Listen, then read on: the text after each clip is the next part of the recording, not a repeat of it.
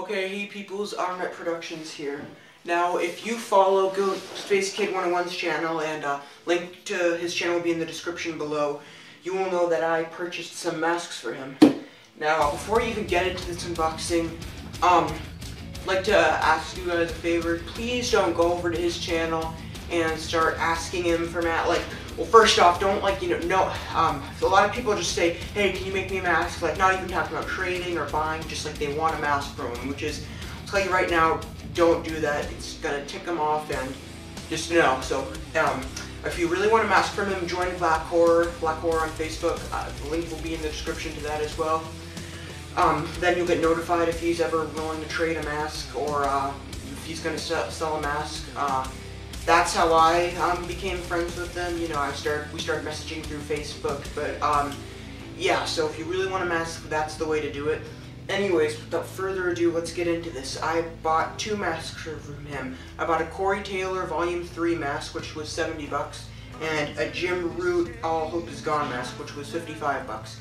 Now, I know the song playing in the background, which is um, The Devil and I from the Gray Chapter, isn't actually from the period of either of these masks, but that's my favorite song from the band. Uh, I do listen to some Slipknot, not a lot, but uh, a little bit here and there. I started listening to it more since I purchased these masks, but um, there should be a few extra things in here, but without further ado, let's get into the unboxing.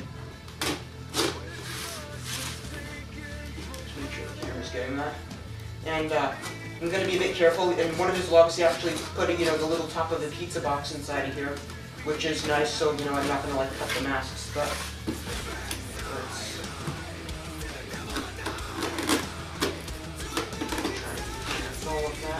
Okay. See if I can just kind of get it from there. We go. There's the pizza box. Top. And whoa my god. Holy crap. Alright, I'm not looking at the other thing. I want that to be a surprise, but... Oh, forgot. Here's a paracord bracelet. Um, he actually offered me this paracord bracelet because my old one, I'm wearing one right now actually, but my old one that I used to wear broke. And um, he actually had this one that was a bit too small for him, so let's try this on. Here, let me get my other one off.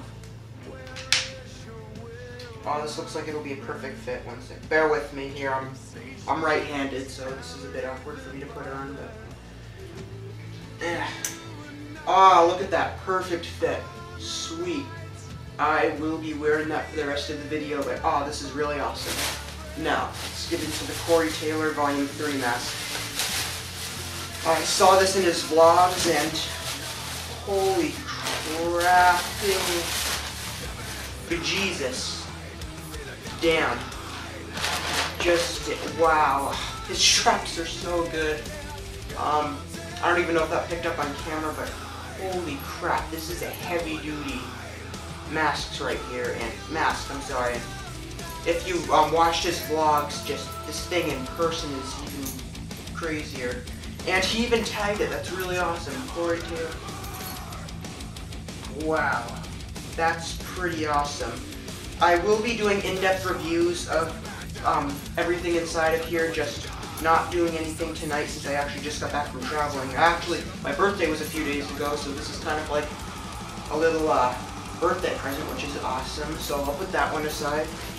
Next we have the Oh Hope Is Gone Jim Root. I still haven't seen the mystery mask that he sent me, by the way. So that's, I am still have no idea what that could be. And uh, my apologies if I'm like ripping up the bags and stuff, that's just because I'm Oh my god. Oh my god. Wow. Just wow. That's the only thing I can say. My god. It's kind Jesus Christ, like I said, like in the vlogs it's like, yeah, they look awesome, but in person they're just like something else, man. There's that right now. Mystery mask, I have no idea what this is. And uh, I think there'll be a little note with this. Alright, no idea what this could be. Oh, a, it's a collector mask. This is interesting. Alright, let's see. Um, I believe there's a note. Ah, there's the note. So, let me open this up. Uh, one second. Here, let me show you the uh, collector mask. Yeah, he um did tell me this was like an old mask, so this isn't his current work, I'd like to point out.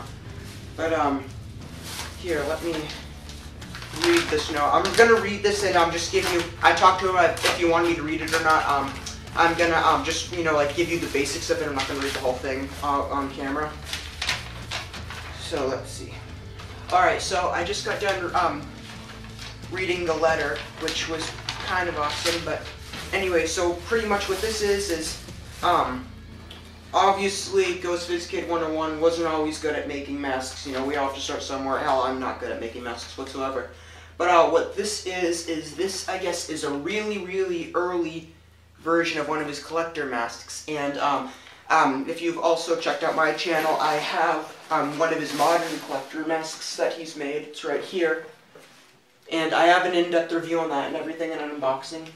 But, so pretty much, this is pretty cool since, um, besides him, only one other person owns um, a mask from this copy, um, from this mold. And it's really cool because, um, you know, you get to see how his mask making skill has, like, you know, evolved over time. And um, you know, obviously the mask hasn't held up too well over time, but like I said, it's um still pretty impressive, and I will be doing a comparison between this collector mask, um, his old collector mask, and the new one that you know was like really high quality and everything that he did.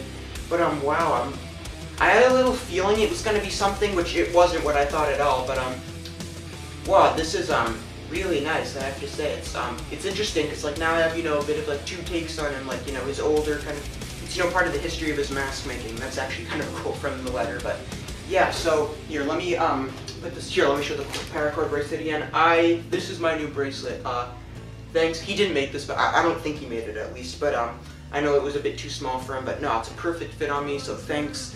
But um, back to the main attractions. Wow. Um, these two, man, wow. Just, the only words I can think to say about these are wow. It's, um, it's kind of surreal. But, uh, thanks for watching the unboxing, guys. Um, make sure to check out Ghostface Kid 101's channel. And, uh, thanks again to Ghostface Kid 101. Shout out to him. And also, another shout out to my friend Spore Worlds, um, for house sitting for me, um, while I was on vacation. Yeah it was since I was spent my birthday at over vacation and he actually gave me some really nice gifts. Uh, I'm not going to go into detail, it's kind of, you know, personal with me and his friendship, but uh, huge thank you to World and shout out to him. And uh, yeah, check the links below for everything. I think I said I would leave to Ghostface Kid 101's channel, Black Horror, and World. So thanks guys for watching, um, and reviews on these masks will be coming up, as well as a comparison between the two collectors. Um, Productions, out.